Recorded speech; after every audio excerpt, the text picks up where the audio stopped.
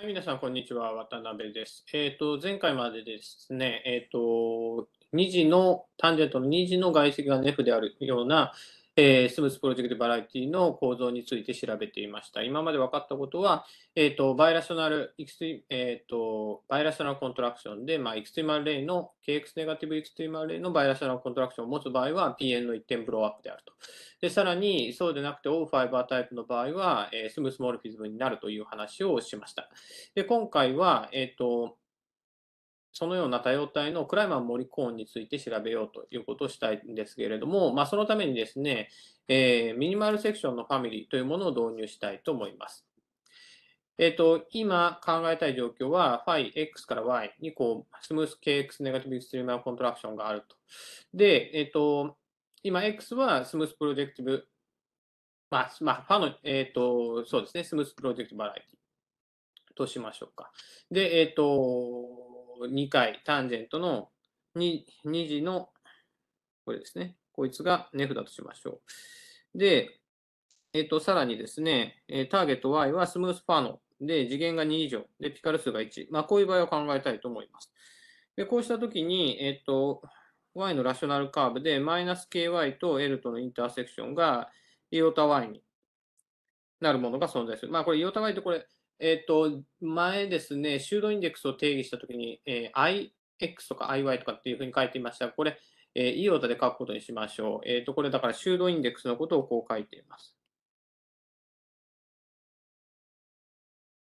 ですから、Y 上の rational curve のうち、 anticanonical degree が一番小さい値ということですね。 degree の最小値ということです。で、そうすると、まあ、そういうような rational curve 一つ固定して、えこれ rational curve normalization すると P1 になります。で、えっと、そいつで、えっと、X から Y へのこの phi という morphism を base change して、XL っていう、え P1 上の、えー、ファノ fibration を得るというわけですね。で、そうしたときに、えっと、グレイバー・ハリス・スターの結果を用いることによって、この P1 をこれにセクションとして持ち上げることができると。で、グレイバー・ハリス・スターって何だったかっていうと、えー、X から B に、えー、F っていう morphism があるとしましょう。で、スム smooth projective variety から smooth projective curve への射ですね。で、 general fiber が rationally connected だとしようと。その時 F はセクションを持つという、まあ、そういうような定理でした。で、えっ、ー、と、今の場合は2のファイバーが、ここは、えっ、ー、と、これ、KX negative な extremal ray の contraction なんで、これは、えっ、ー、と、ファイバーはファノになっています。で、ファノになっているので、特に rationally connected になっているということがわかります。で、そうしますと、うんと、このグレイバー・ハリス・スターを使うと、このファイ L っていうのはセクションを持つと。そのセクションを L チルダーとこう書くことにしましょう。で、それをこっち側に、えー、移してあげたものは LX チルダーと。まあ、そのように書くことにします。で、そうすると、まあ、あの、これ一般に P1 と L は同型ではないのですが、 general には同型ですので、これはジェネリックな、ジェネリックにはこの L に対応するような、ここの、えー、LX チルダーっていうのができるというわけですね。はい。で、そこでですね、あんまり一般的ではないんですが、この次のように呼ぶことにしましょう。フォーえーと、 rational curve C というのを考えて、えー、C っていうのが L 上のファイの birational section というのを、えー、ファイで送ると C が L に行って、ファイを C に制限すると C と L が birational になる。まあ、こういうもの。まあ、そもそもそこれをそのまま、えー、セクションと呼んだりするかもしれませんが、まあ、ここでバイラショナル、まあ、同型ではないということで、 birational section と呼ぶことにします。そうしますと、先ほど作った LX チルダーっていうのは、まさに L 上のファイの birational section になります。で、そのようなものの中で minimal なものを考えましょうと。で、 minimal ってここで何を言ってるかっていうと、えー、 birational section の中で、 anticanonical degree がこう minimal になるようなものを、えー、 minimal な birational section というふうに呼ぶことにします。で、そうしますと、えー、Y 上の、えー、 rational curve L0 っていうのを取ってきます。これはどういうものかっていうと、 anticanonical、あと、 pseudo index、Y の pseudo indexとアンチキャノニカルデグリーが一致するようなラショナルカーブです。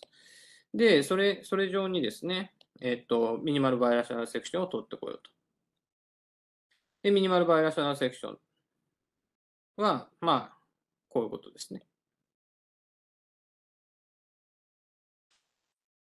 はい。で、まあ、その中でも特にこの、こいつが最初になるように取ってきます。で、なんでこういうことしてるかっていうと、いろんなところで最小最小ってしていますが、それはですね、これを含むようなラショナルカーブのファミリーを考えたいからで、それを M っていうふうにするんですが、この最小をいろんなところで取っておくことによって、この M っていうファミリーがアンスプリットになるってことがわかります。で、それによって、これは、あの、アンスプリットなんですが、実は、これをですね、えっ、ー、と、今の、今の場合は、その、2, 2次のタンジェントの外積が Nef っていう条件がついています。そうすると、実はこの M に関してスムースジオメトリッククオーシェント、だからまあ RCC、M に関する RCC ファイブレーションを考えると、それがスムースモルフィズムになるってことがわかります。はい。で、これは結局ですね、えっ、ー、と、2の M カーブがフリーになって、えー、金光さんとの定理を使えばいいという話なんですが、まあだからもしこれがフリーじゃなかったと、フリーじゃないような M カーブが存在したりすると、またえー、アンチキャノリカルデグリーが非常に大きくなってしまって、まあ、おかしなことになると。ですので、結局2の M カーブがフリーになって、スムースジオメトリックコーシェントを作ることができると。だからこれはですね、あの、すごい顕著な、えー、性質で、なんか下の方から次数の低いような、その、ラショナルカーブを取ってきて、それを上にミニマルセクションとしてあげると。そうすると、ミニマルセクションをまた使って、それのファミリーを考えると、それによってコントラクションを作ることができると。まあ、それが非常に強い性質です。で、まあ、このことを使いまして、このことを使ってですね、えっ、ー、と、次を証明することができます。 theorem の6.7をご覧ください。X を rationally connected として、まあ、今までと同様に2次の、えー、タンジェントの外積が nef だとすると。そうすると X はファノになって、さらにクライマン・モリ cone が simplicial になります。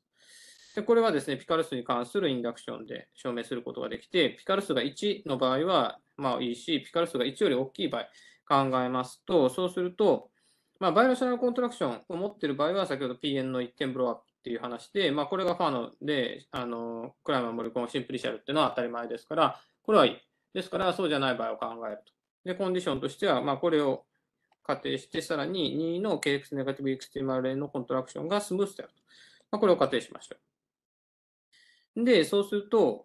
まあ、まず、あの、一つ KX negative extremal ray の contraction を取って、そうすると smooth も